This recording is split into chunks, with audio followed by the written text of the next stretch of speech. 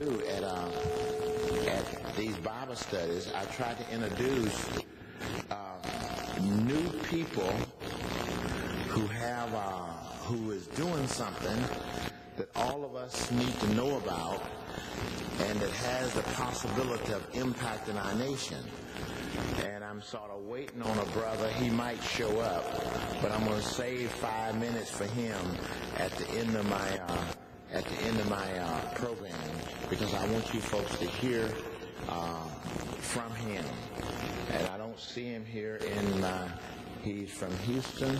I don't even remember his name, but uh, uh, I said, but I will know him if I see him. Uh, but when he appear in this building, if he appear, uh, he's a short guy. Uh, uh, uh, he looks sort of like somewhere a twitch between a Hispanic and a, an Italian. And so uh, if he get in this building, he's very short. He's going to come up front probably. So you guys uh, let him know that he's going to be on this program here. I'm going to save five minutes for uh, uh, uh, for him. So open your Bibles this morning to the um, the little epistle of John. Uh, there's a lot of verses in the scripture that that sort of become guiding principles in my own life. Uh, one of the guiding principles of my life have been uh, Acts 1:8. When I was discipled after my conversion in 1957, an old Presbyterian theologian discipled me, and he taught me the Word of God he anchored me in some of the major biblical principles. You know, he sort of installed into my life a sort of a, a sort of a philosophy of life in terms of how do you read the Bible and apply the Bible to your own life first, but the whole idea is to try to apply it to society. And Acts 1.8 has become my guiding principle in my life where Jesus said, these are the last words of Jesus where he said, but you shall receive power. Uh, he was talking about the Holy Spirit. And then with the Holy Spirit, then you shall be witnesses unto me.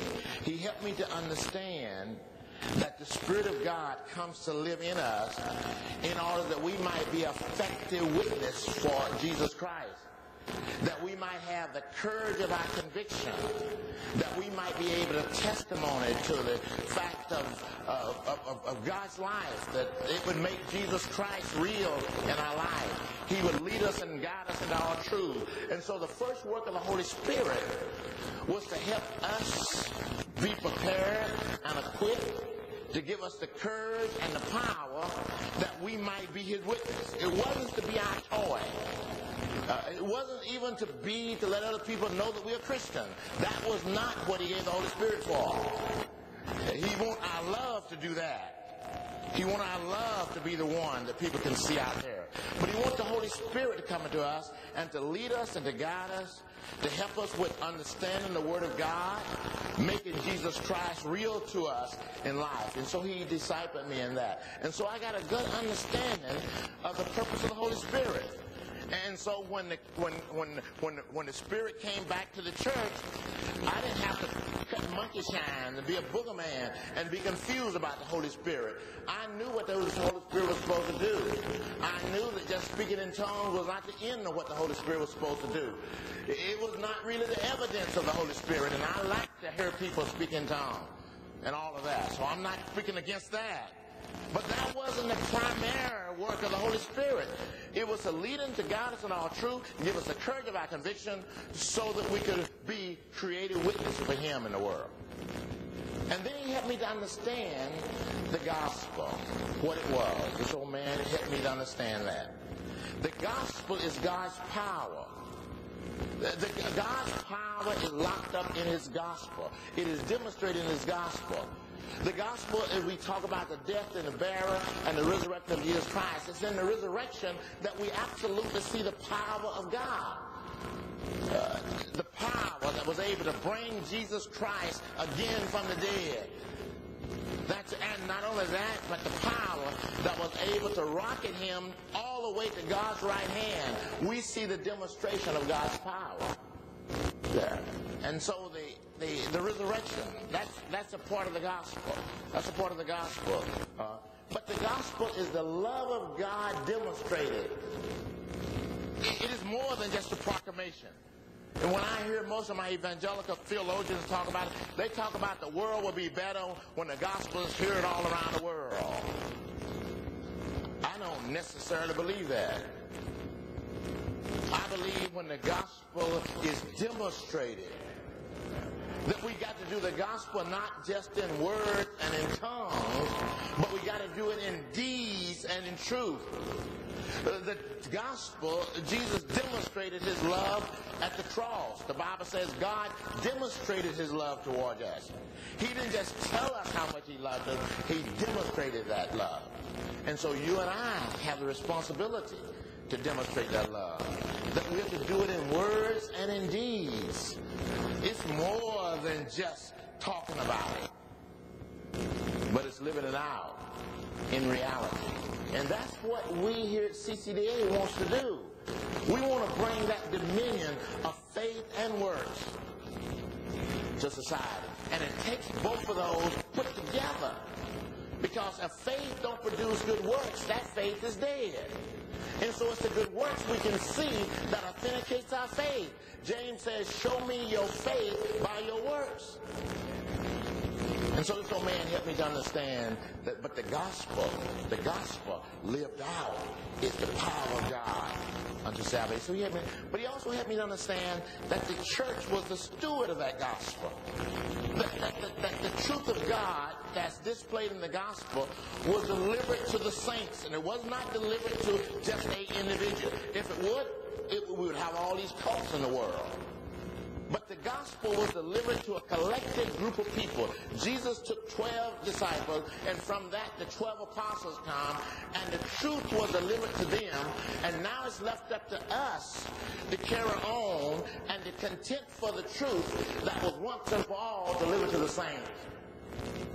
And so we, as a collective body of believers, and I'm talking about really at a local level, at a local level. When I talk of the church, I'm talking more or less about the local church, about the congregation that meets, about the church in the community that can be powerful, so we can evaluate it and know.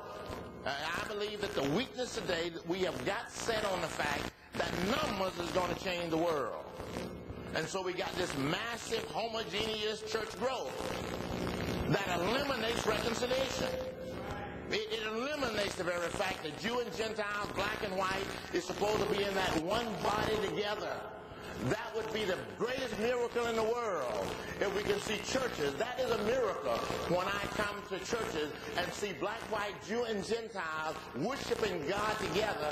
When the church reflects the community in which it is located, that is what the church is supposed to be because the church is supposed to be both a family and a community, a body of people there. And so the church really is God's witness in the world. You got, we got to come back to that. Uh, the gates of hell can prevail against you as an individual. But the gates of hell cannot prevail against God's collective body of believers. And so we can be effective. And so this old man helped me to understand that. And then he helped me to understand, even before I had heard the word out in society, what was indigenous leadership development. And he used 2 Timothy 2 2. Help me. Paul says to Timothy, That which you have heard of me among many witnesses, that commit unto faithful men and women who shall be able to teach others also. And, and, so we was to go out, and if you follow Paul's life, he went into those heathen lands and he established indigenous churches.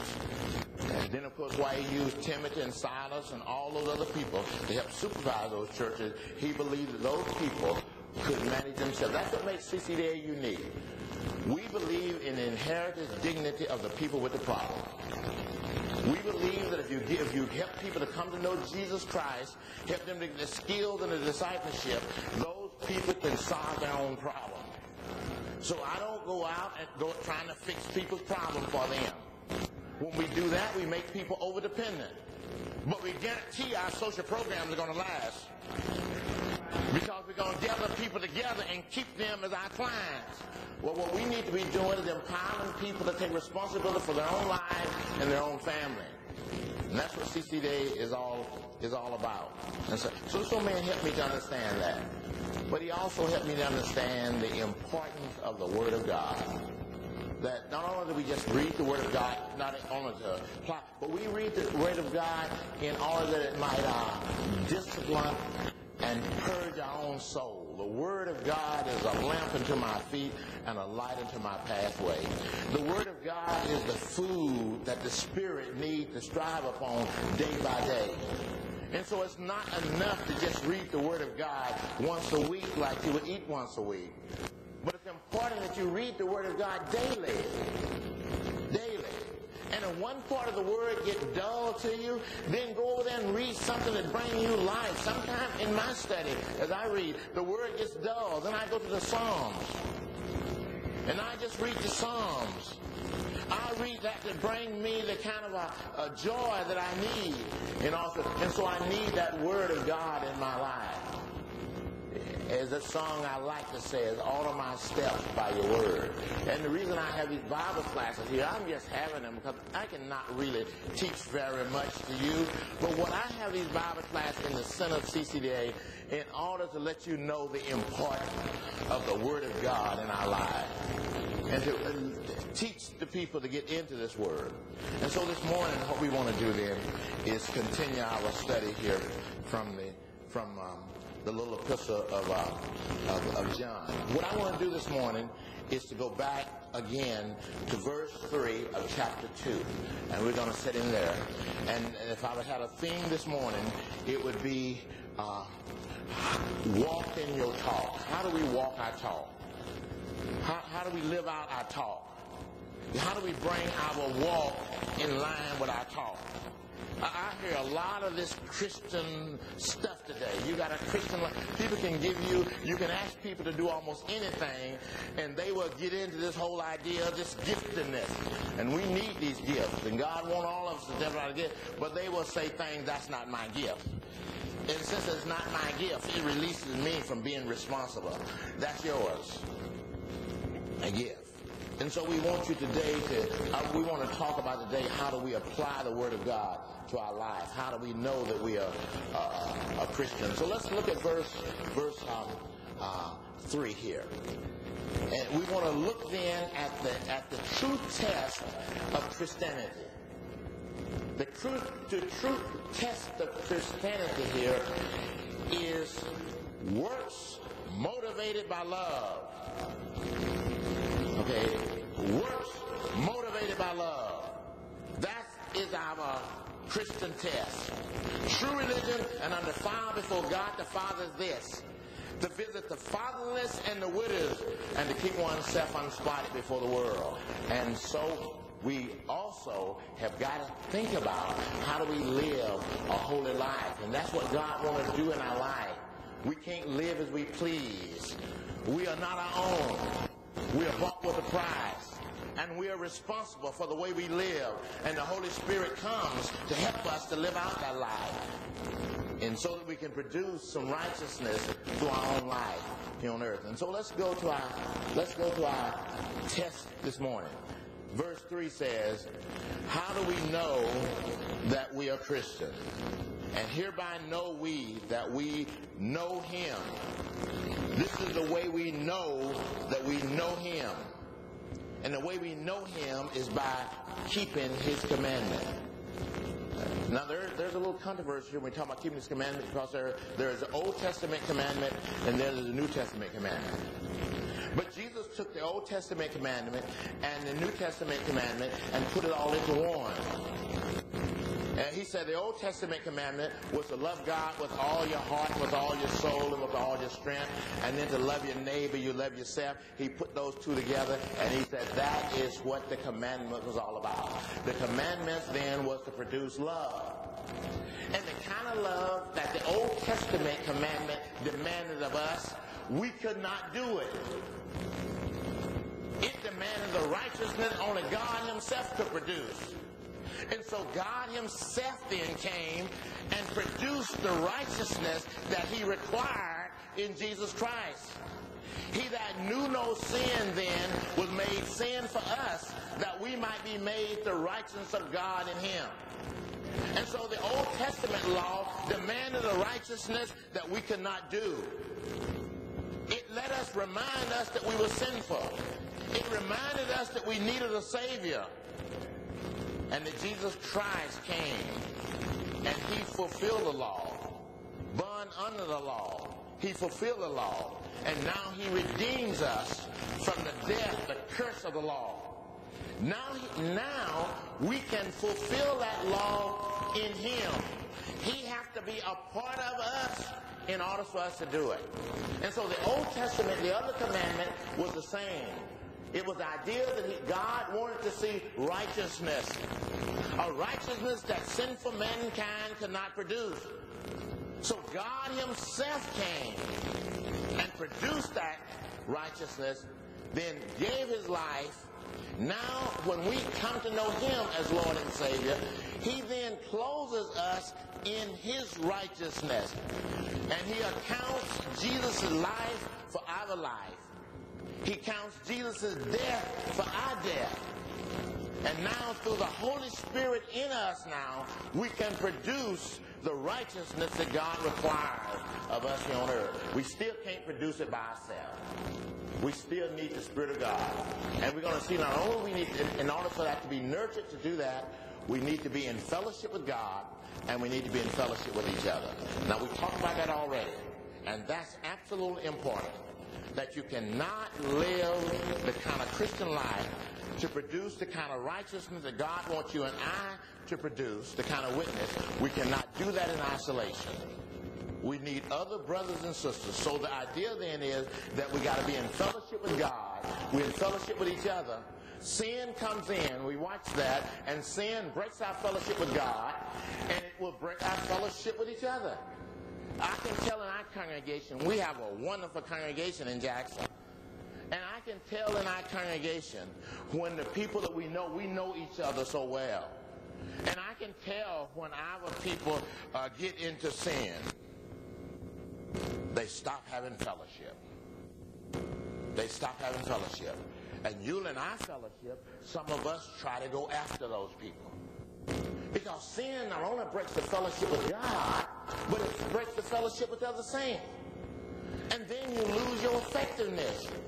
And for us then, we lost a gift that could be utilized in the body. That's the whole idea. That the church cannot be effective as it could be if our brothers within the congregation are living in sin. So it becomes our responsibility as the people of God, if we hear that our brother have sinned, that we're to go get that brother and nurture that brother and bring that brother back into the fellowship. We bring him back so that we all can be effective. You can't be effective if the gifts are not being displayed within that community. And so the brother who's walking in sin, you see, if that gift is being neglected, it is not being brought to bear within the community, then it becomes our responsibility to go there and to bring that brother or that sister back into the body. How do we know? Let's go back to our teaching here. And how do we know that we know him and we keep his commandment? And he that says, listen to what he says in verse 4. He that says, I know him, and that's the theme that we're talking about today, and that we need to know that we know Christ. I remember when I was first converted, I was converted in a in a in a little holiness church. And in this little holiness church, a wonderful holiness church, uh, but these people had accepted this the idea that when you sin, you lost your salvation. And, and, whenever you sin, you was lost. And man, I was pent up because I knew that in me, while I was confessing it, I just did not feel confidence that I could live the Christian life alone. And then this old same Presbyterian elder who discipled me, and I went to him and I told him the motion I was having.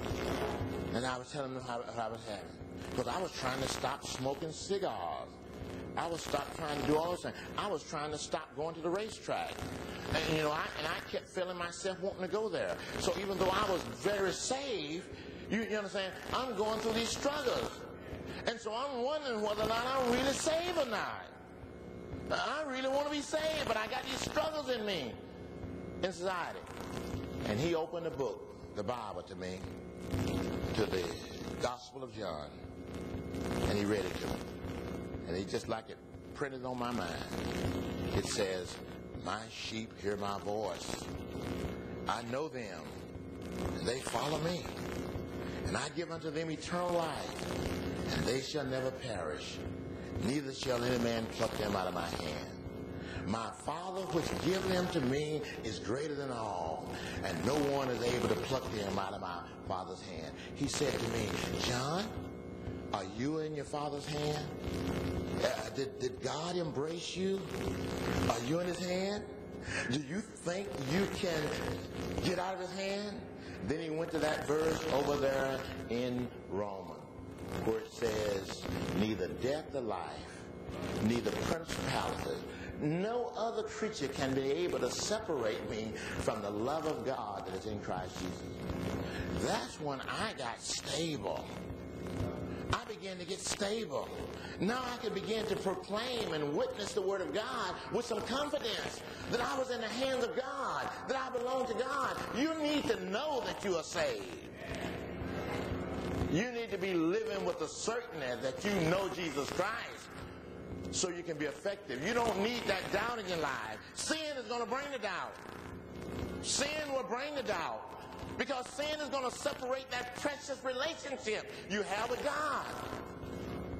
And then it's going to bring the question into your life. But you've already told us how we can restore that relationship by confessing it. We need the blood of Jesus Christ in our lives all the time. I am glad for that old hymn I quoted yesterday. There is a fountain filled with blood drawn from Emmanuel's vein. And I, John Perkins, have to go beneath that flood from day to day to lose all of my guilt and all of my stain. And so I don't live with my guilt. I don't live with my sin. I confess my sins to Jesus Christ. And the Bible says that he's faithful and he's just to forgive us of our sins and to cleanse us from all unrighteousness. Let's go. So you got to know you got to know that you belong to God. Look what he says now in verse 5. Whosoever keepeth his word, look what it said. Verse 4 says, He that says, I know him, and keep not his commandment, is a. If, if, if, if you are not living out, attempting to live out, uh, the will of God, and that's important, I said the will of God, because the will of God is everything that we're, if you're not attempting to live out the, the will of God, then that might be that you might not have really accepted in a personal way where you have really received the kind of repentance that you needed to in order to really genuinely be saved in society. Look what he says. He says it here. Look what he says that. He that says I know him and keep not his commandment. You can't live as you please. You are not your own. You have been bought with a price. Is a lie. And he said, and the truth is not in him. But look what he says in verse 5. But whosoever keepeth his word. Now this is important. Whosoever keepeth his word. Keeping his word is living in obedience to him and attempting to carry out his will. That's living in obedience to his word. That's trying to obey his word. Truth. And one of the things that's thrilling me, and it's catching on here, because I started in this Bible class talking about this massive prison system that is destroying our community. And it's not many people uh, in, in a family of any size that don't have somebody in this prison system. I got a son that is messed up in this prison system in our society. And it's destructive destructive, it's corrupt, it's wasteful in our society. And if the church missed that in terms of seeing the burden of it, but it also might miss it in terms of hearing what Jesus said and what Wayne said last night. The Spirit of the Lord is upon me, for he has anointed me to open the doors of the prison. Open the doors of the prison. And so we, that's where we got to go. That's where we got to go. We got to surround these jails and we got to surround these prisons. And I would like to see next year that people come here by the hundred and say, we have developed these nurturing houses for these women, men and women who will come out of prison. We got to do that. And we, it's to our advantage. The great leaders of the world comes out of prison. What makes Mandela such a powerful guy is he came out of prison. The Apostle Paul, such a powerful guy, he got John Bunyan, John Bunyan, Pilgrim Progress, sold more books than anything outside of the Bible. Why? Why? It was in the prison cells that he was able to think creatively. Think creatively. We need to be rescuing these people from the prison, not just for their sake, but for our sake. So they can bring back to us the kind of courage and determination that we need in order to be effective. So we need them. We need them in, in our society. And so we got to reach out after them. Look what he says here. We got to keep the word. We got to walk out keeping the word. We got to do the word. You, you, you know, he that hears my word. It's not only them that hear it, but he that believeth, and he that keeps the word. Verse, let's continue here. Uh, that we know we in him. Uh, but whosoever keepeth his word, in him verily is the love of God made perfect. As we attempt to keep the Word of God, as we attempt then to live by the Word of God, the Word of God then helps us with that joy. Because the Word of God becomes sweet. It becomes precious to us. You remember those guys on the Emmaus Road? They said, Didn't our hearts burn? as he meditated and taught us the word. So the word of God should be that which gives us the energy and the enthusiasm to be obedience to him in life. Verse 6 says, He that says, look what he says now, he that says, I abides in him. Now, you know, if you notice the Bible carefully, being a Christian is staying in Christ and in a relationship to Christ. We need to be conscious of that. And that's why we need to then keep our sins confessed so we can stay in that relationship, so we can abide in Him uh, day by day. He that says he abides in Him ought himself also to walk as He walked. You see, so when we're walking with Christ, then we are trying we are producing. God is producing in us the righteousness that he produced. God is reproducing that own righteousness in our own life as we walk here on earth. Verse 7 says brethren i write no new commandment unto you but an old commandment which you have heard from the beginning. The old commandment it is the word which you have heard from the beginning.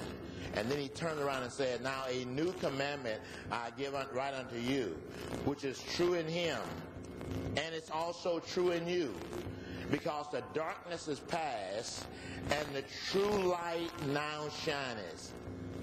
Look what happens really when you come to know Jesus Christ. This is what happens to you. The Apostle Paul's life is a good illustration of what happens to a person when they come to know Jesus Christ. What happened to the Apostle Paul on that Damascus road was this.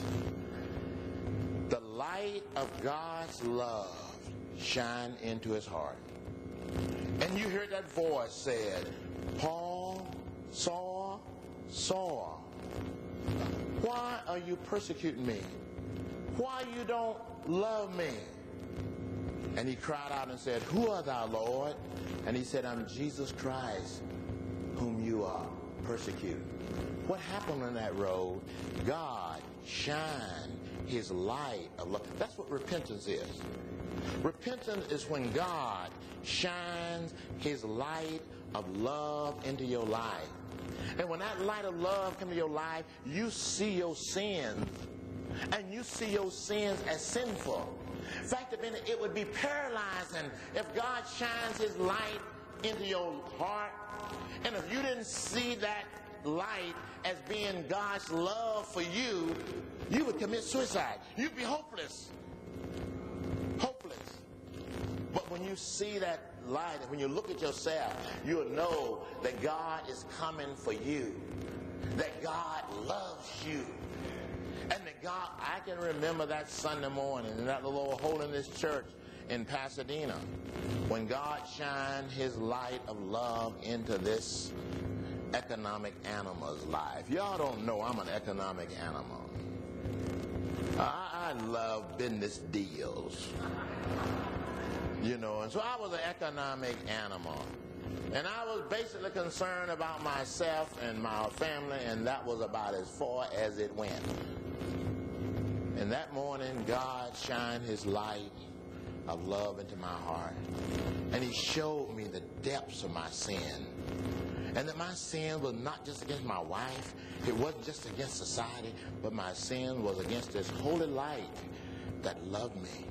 My sin was against God that morning. And that morning I started weeping. And, and, you know, that morning it was in me, it was both, that weeping was both joy and sadness at the same time.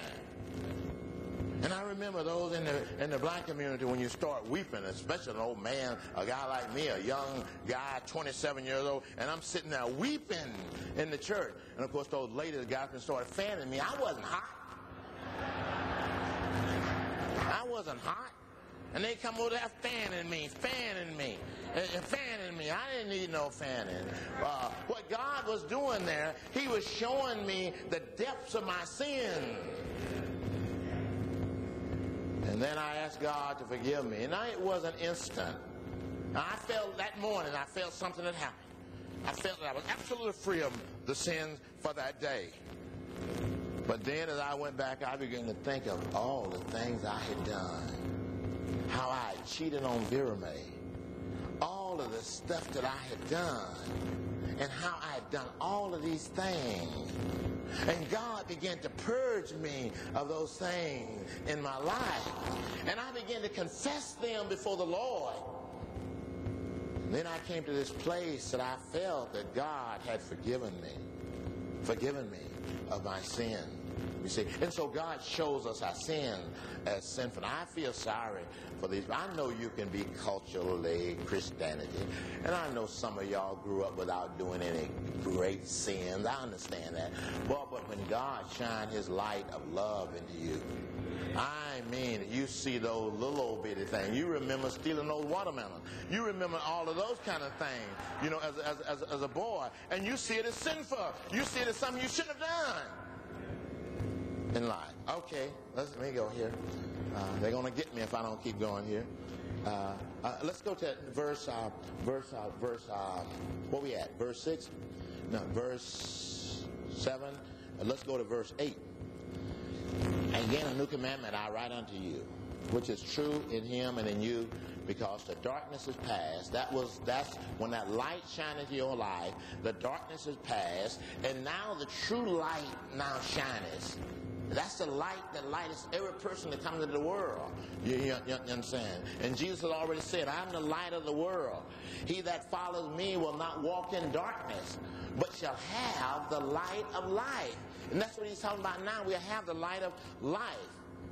Verse 9 says, He that says he's in the light and hates his brother. Now we're coming to the acid test. You can't be a Christian and a bigot.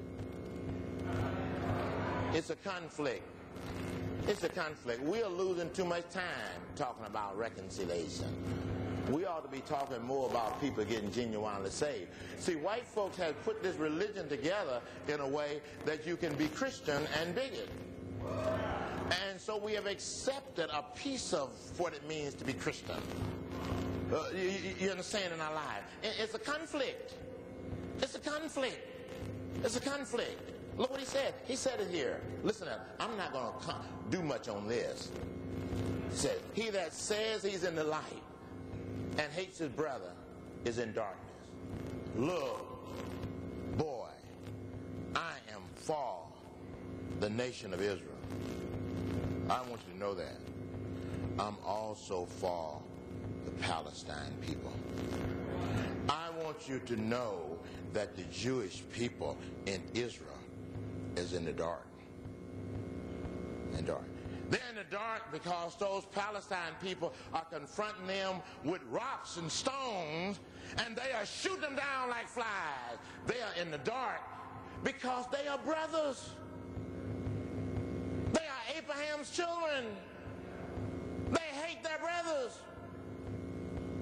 Now, those wonderful Palestine should really know better than throw those rocks against those machine guns. And so I want you to know that the Palestine people are in the dark too. And that is not the way you bring about God's spiritual change. The way Jesus brought about our redemption is that he laid down his life for us.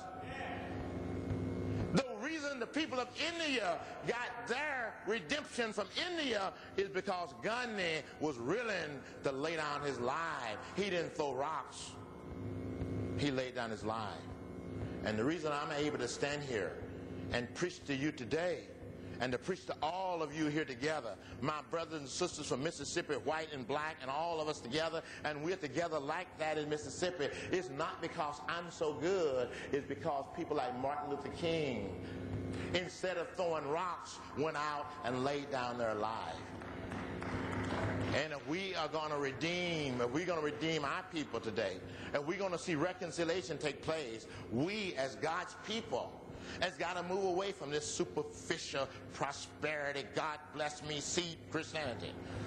all of that is nothing but an extension of greediness. We're going to have to be willing to go down and lay down our lives for those people that we really want to see come to Christ. We're going to see that. If he was willing to lay down his life for you and me, we ought to be willing to lay down our lives for our sisters and brothers out there in society. And I want you to know that that's the way peace is going to come. We're not ready today because, as I said, we, we think we can have it all. I mean, we think that we can be both rich and prosperous and give God a little over excess our discretionary money. And that's about what Christianity is doing. I don't know many Christians that are looking and saying, how, what can I do? How much can I give to Jesus Christ? Well, I want you to know there's a few that is doing that. There's one young businessman that I hear this week, and he got quite a bit of wealth.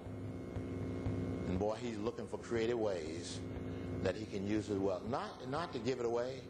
He can, he has been able to see what the charitable stuff is doing to us. It makes us too dependent. It makes us too greedy. But he want to talk about how he can utilize his resources to invest, to develop businesses in the urban community. Next year, he's going to put on a workshop and a seminar. And he's developing these businesses now. He done developed four of them, and they are very successful. And he want to see them develop. And he want to see them spread it throughout the CCDA. And he want the CCDA uh, ministry to be the place where they are demonstrated in there, in our society. And so he's demonstrating uh, his love. Okay, let's continue here in, in this passage. Where we at now? Uh, verse verse 10. He that love, uh, he that, well, okay, if you, if, if you hate your brother, you're in darkness even unto now. That's what we're saying. And, and, over there in Palestine, they're in darkness. The Jews are in darkness, and the Arabs are in darkness, even until now. But he that, look what it said verse 10. He that loveth his brother abides in light, and there is none occasion of stumbling in him. The word of God and the righteousness that God produces is shining into his heart. And the word and the light has become a lamp unto his feet and a light unto his pathway. He is walking his talk. But he that hates his brother, verse 11, is in the darkness and walks in darkness and knows not where he goes because darkness has blinded his eyes. And I want you to know that if you are not a reconciler, if your faith will not let you, and we have to do this as black folk, we got to get over it. We got to get over it. We got to get over what happened to us and my grandparents some time ago. We got to get over that. We got to be able to forgive. Be able to forgive. And, white folks have got to be able to forgive. And black folks have got to be able to give. And Chinese and Spanish and all of us got to be able to forgive each other in life. Well, let me finish here. Let me finish. Darkness has blind eyes. And he says here, and now this is the verse I want to get to, so I'm going to, I'm to skip down from verse 12, and I'm going to skip down to verse uh, 15. And this is where I want to close at here uh, this morning. Uh, have anybody seen my man come in yet? Uh, the guy from, is there a guy here from uh, Houston, Texas? My buddy from Houston, Texas? Uh, come on up here. Now you're to have to pull off your shoes. Come on up here. I want you to make your way up here. I want you to say something at the end here. Uh, but you, when you get here near, you're to pull off your shoes. Uh, okay. Okay. Let, let me finish here. Let me finish here. Here.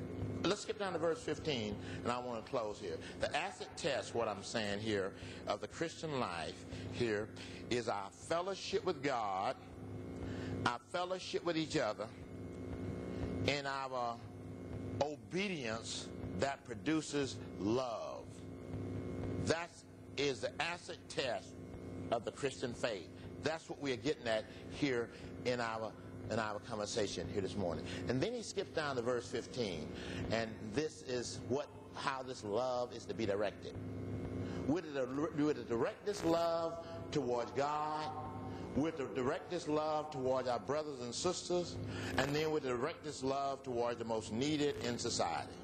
That's the way the love is supposed to be. First, that love is to be demonstrated in our home, in our family. Then it's to be demonstrated with each other within the body. And then we're to demonstrate that love then by focusing that love in the most needy. Uh, Jesus, now somebody going to say, what about the rich? What about the rich? People always say that to me. You, we're to focus our main attention of our love toward the poor.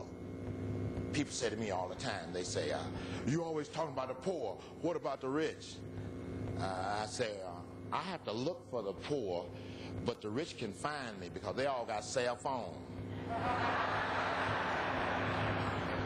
and, and, and, and, so the, the rich will find you. You know, what we have to do is go out and look. Don't worry about the rich. Don't worry about the rich. They'll find you. They will not only find you, but they will buy you when they find you. So don't worry about the rich. The rich will find you. Let's focus our attention, you see, on the poor in our society. And if you focus your attention on the poor in society, then I'll tell you what happened. The rich will find you. I mean, my phone rings all the time with the rich. I mean, the rich want to tell me what to do all the time. And, and, the rich got a program for me if I do what they want, I mean, uh, because they want significant. They got their money, but they haven't found significant. And to them, significant is owning a racehorse. To them, significant is owning a baseball team. To them, significant is owning a church where they make all decisions. uh, I mean, the rich wants to show significant with their power. So let's put our attention on winning the poor. Let's go to our mind closing here this morning. What he says here, this is the way I love. Where I love is to be focused. You see where I love is to be focused. Now I want to show you in closing why I love should not be focused. And that's what these prosperity preachers are trying to tell me. They're trying to tell me that the love should be focused on my rings, on my necklace, on my clothes, on my Mercedes, on my bigness. They're telling me that that's where my focus need to be. They are telling me that if they are prosperous, then the society will be prosperous in society. Let's look then where our focus need to be, where our focus need not be. He verse 15 says, Love not the world, neither the things that are in the world. If any person love the world, the love of the Father is not in him.